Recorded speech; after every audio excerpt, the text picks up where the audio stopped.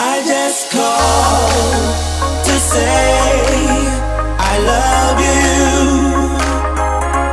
I just called to say how much I care.